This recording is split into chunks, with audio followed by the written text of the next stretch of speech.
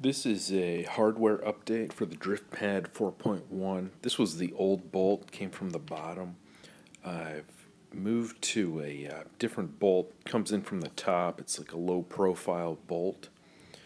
Um, here's a better look at it.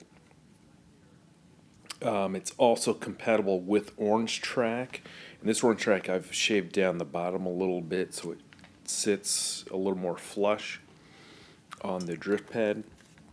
And as you can see, the bolt goes in from the top, snaps right in.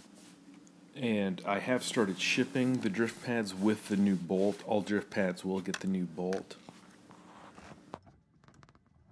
I've noticed that the heavier cars work the best and the FTE wheels especially on this car work well.